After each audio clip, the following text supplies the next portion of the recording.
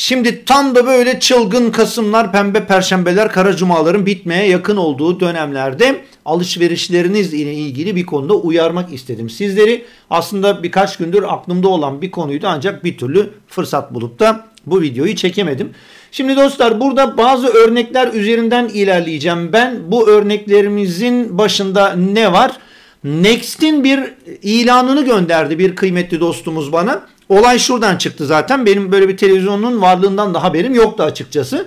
Bir kıymetli dostumuz dedi ki ya Adem Elvacı şu linke bakar mısın? Adamlar Sharp panelle üretim yapıyorlarmış. Bu televizyon iyi midir? Alayım mı diye sormuş.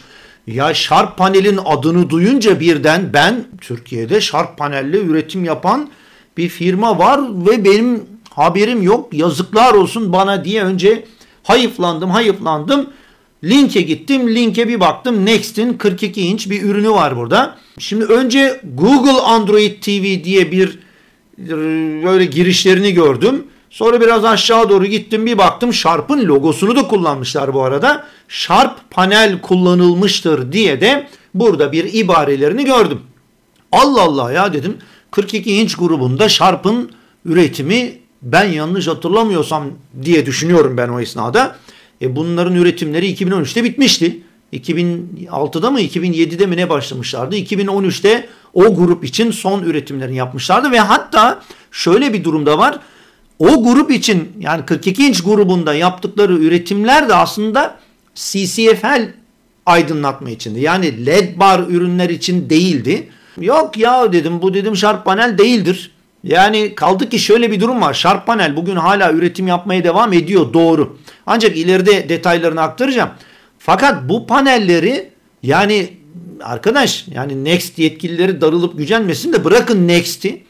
Yani bugün Vestel, Arçelik bırakın Vestel'i, Arçelik'i. Sony, Samsung, LG, Philips bunlar satın alıp kullanamıyor kardeşim. Yani aşırı derecede pahalı paneller bunlar.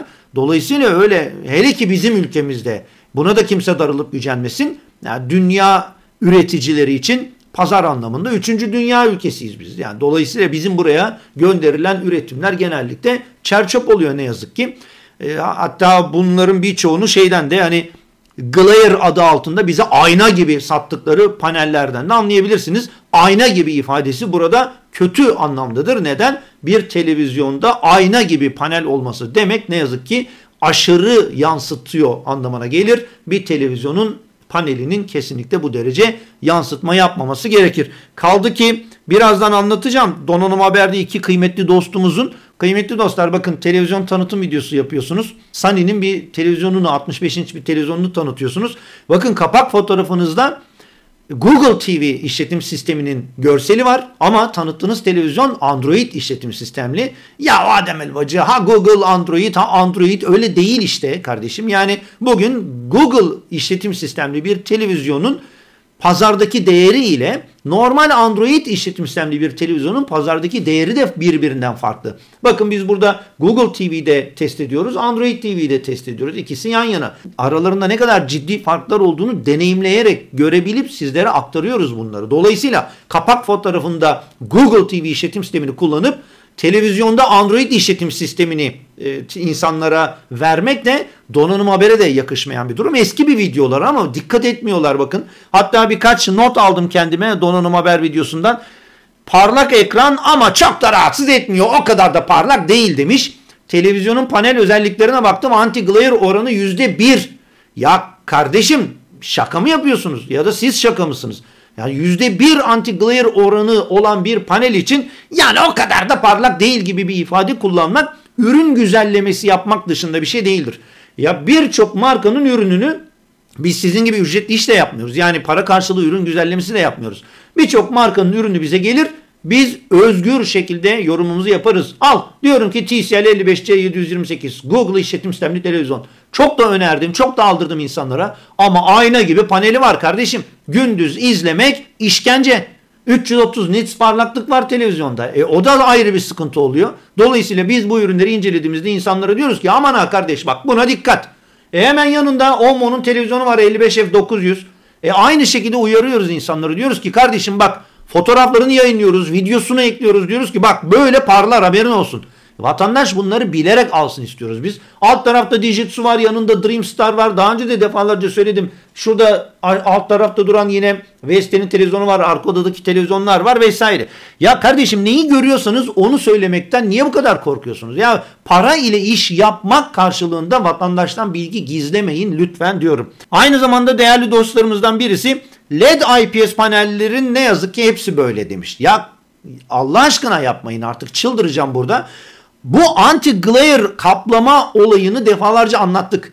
Nedenini de söyledik. Üretim maliyetleri yükseldiği için firmalar anti-glare kaplama işine girmiyorlar.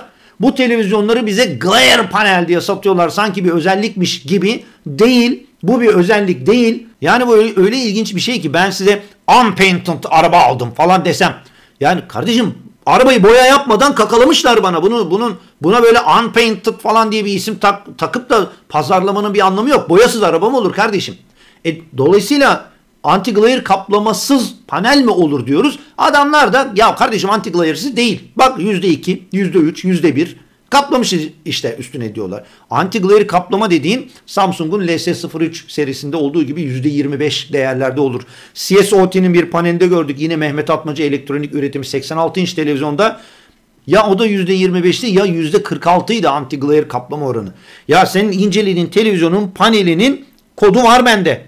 Ve bu kodun özelliklerin speklerine girip bakıyorum anti-glare kaplama oranı %1. Ve sen insanlara diyorsun ki LED IPS'ler böyle. Yahu bunun LED'le ne ilgisi var? IPS'le ne ilgisi var kardeşim?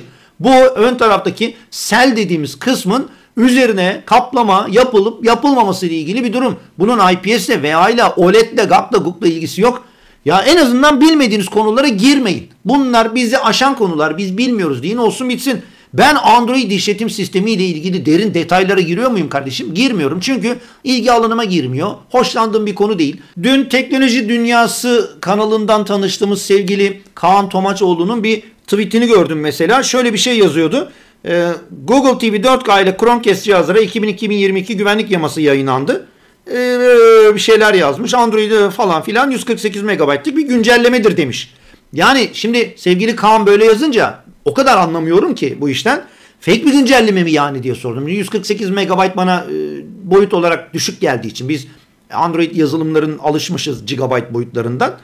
Ee, sevgili Kaan da demiş ki Android 12 üzerine güvenlik yaması sabah yükledim gerçek yani demiş. Kendisine cevap olarak dedim ki bak Android'den ne kadar anlamadığımı bu kadar anla işte dedim. Kardeşim bilmediğiniz konularda bilmiyorum demek ayıp bir şey değil ki. Niye giriyorsunuz o zaman bilmediğiniz konular? LED IPS panellerin hepsi böyle. Öyle bir şey yok kardeşim. Bunun LED IPS ile ilgisi yok. CCFL VA ile ilgisi yok. Bunun panel üreticilerinin, televizyon üreticilerinden bahsetmiyorum.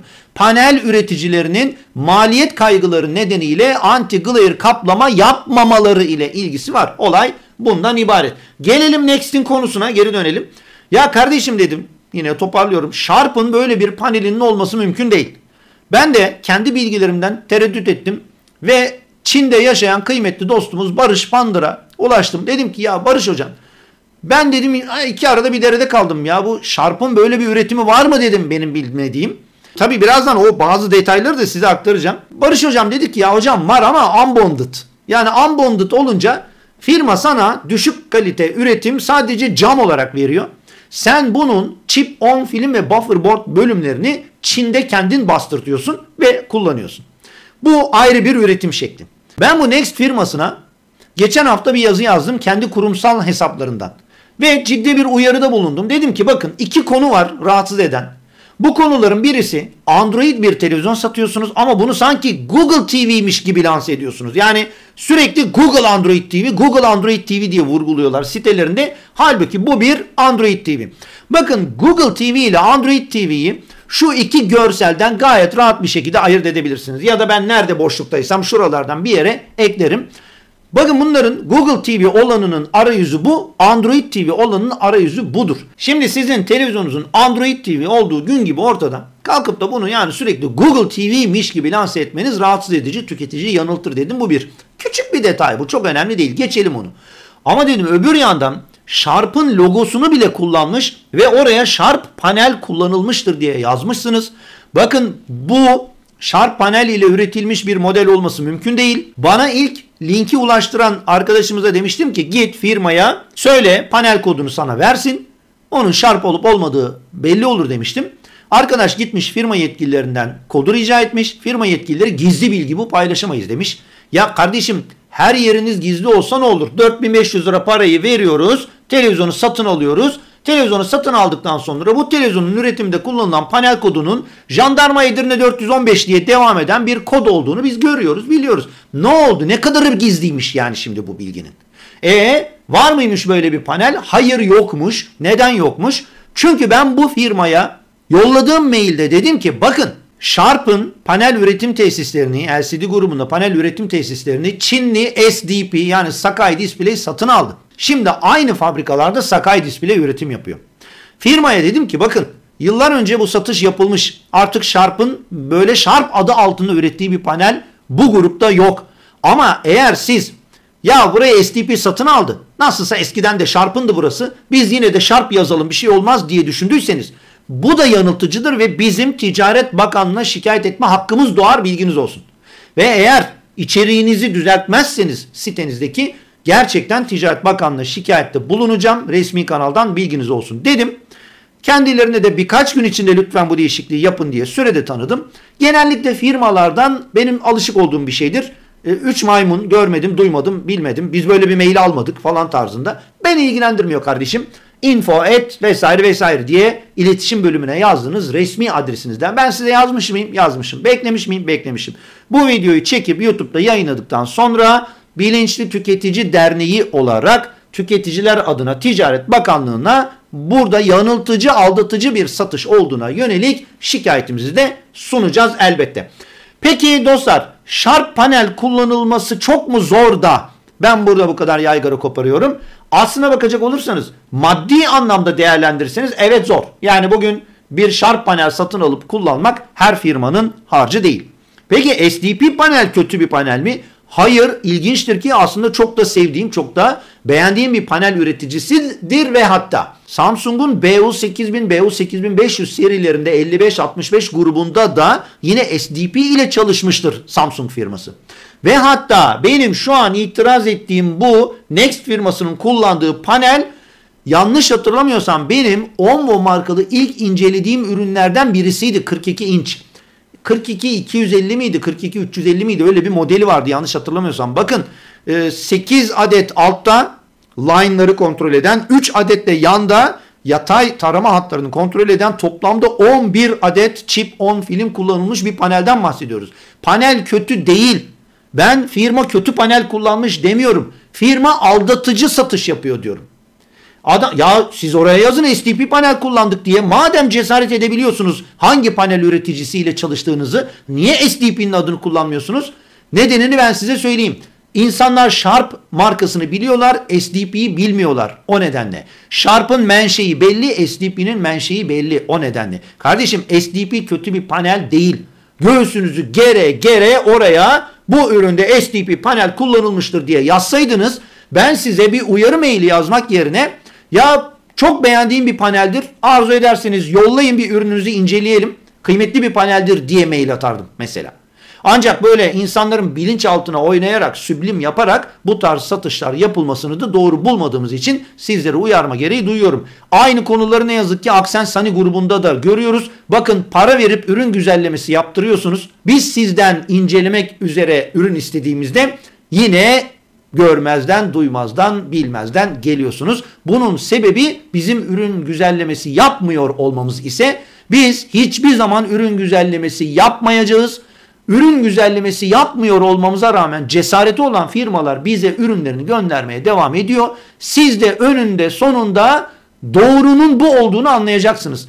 Parasını vereyim oraya iki tane kıymetli genç dostumuzu çıkaralım.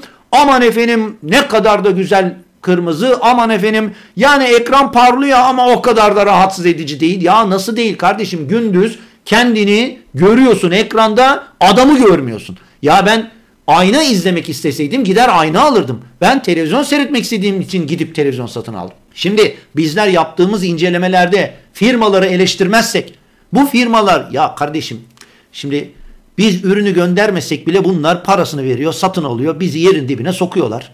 Ne? Bu işin kurtuluşu yok. E bu adamlar da gün geçtikçe büyüyor. Vatandaş da bilinçli bir tüketici olma yolunda emin adımlarla ilerliyor.